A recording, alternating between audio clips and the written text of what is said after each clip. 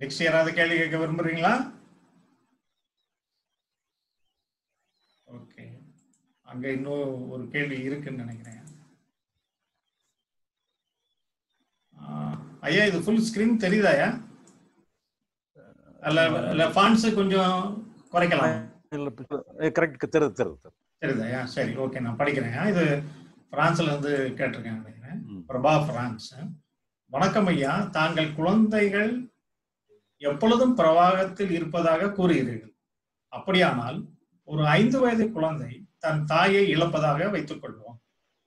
அது தன் தேவைகள் அனைத்திற்கும் தாயையே நம்பி இருந்த நிலையில் தாயின் எதிர்பாராத இழப்பினால் ஏற்பட்ட பாதிப்ப பாதிப்பையும் துக்- துக்கத்தையும் வெளிப்படுத்த தெரியாமல் இருக்கலாம். ஆனால் அக்குழந்தைக்கு மனத்துயரம் இல்லை என்று கூற முடியுமா ஐயா? உண்பதும் உறங்குவதும் கூட அதற்கு சிக்கலாகத்தானே இருக்கும்? அப்படியானால் இப்படிப்பட்ட தருணங்களில் குழந்தைகள் தங்கள் பிரவாகத்தன்மையை இழந்து விடுவார்களா ஐயா?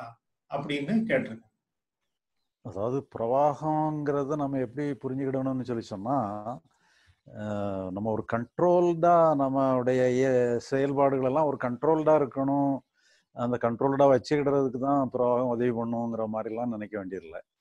அதாவது சொல்லி சொன்னா இப்போ ஒரு குழந்தை வந்து வருத்தப்படலாம் கோவப்படலாம் ஆத்திரப்படலாம் மகிழ்ச்சியா மகிழ்ச்சி மகிழ்ச்சி வெளிப்படலாம். அது எந்த உணர்வு வெளிப்படுத்தினாலும் ஒரு ஃப்ரீ ஃப்ளோ இருக்கும். அதுல நம்ம செய்யக்கூடாத ஒண்ணு செய்யறோங்கிற ஒரு ஃபீலிங் அதுக்கு இருக்காது. அது ஓப்பனா அது பாட்டுக்கு ஃப்ரீயா வெளிப்படுத்திடும் அது. அந்த ஃப்ரீயா வெளிப்படுத்துற தன்மையை தான் நம்ம வந்து ஃப்ரீ ஃப்ளோன்னு சொல்றோம்.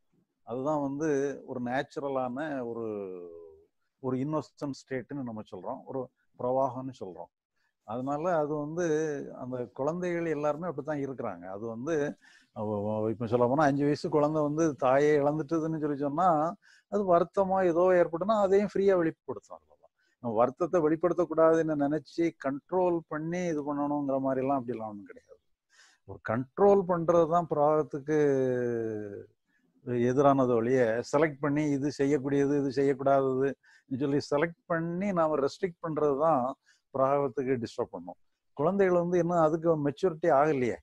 கொஞ்சம் வயசாக ஆக தான் வந்து என்ன சொல்லி சொன்னா நம்ம இந்த உணர்ச்சியை வெளியே காட்டலாமா? அந்த உணர்ச்சியை காட்டக்கூடாதாங்கிற மாதிரி எல்லாம் இது வரும். அப்புறம் இந்த உணர்ச்சிகள் தேவையில்லாமல் நமக்கு நம்மளை டாமினேட் பண்ணதை இது எப்படி கண்ட்ரோல்ல கொண்டு வர்றதுங்கிற ஒரு பிரச்சனை எல்லாம் அப்பதான் வரும். அதனால இது வந்து தன்னுடைய எமோஷன்ஸை ஃப்ரீயா வெளிப்படுத்துறதுங்கிற ஒரு ஆஸ்பெக்ட்ல தான் பிரவாகம்னு நம்ம சொல்றோம். அந்த இன்னோசன்ட் ஸ்டேட்ல குழந்தைகள் வந்து அந்த பிரவாகத்துல இருக்குது. அந்த லிபரேஷன்ல இருக்குன்னு சொல்ற காரணம்.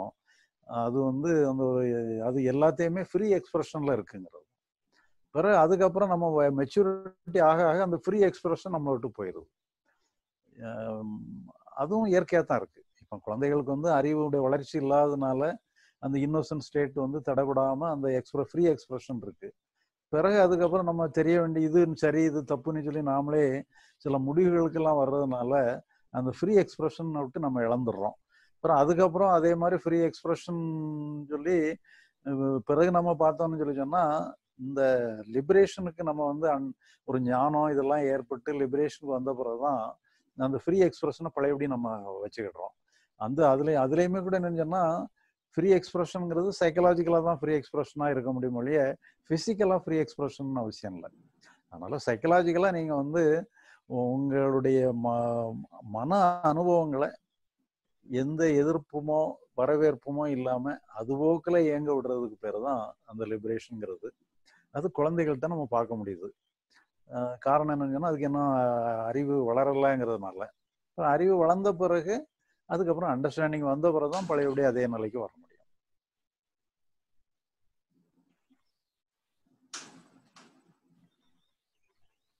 இப்போ கேள்வி கேட்க விரும்புறவங்க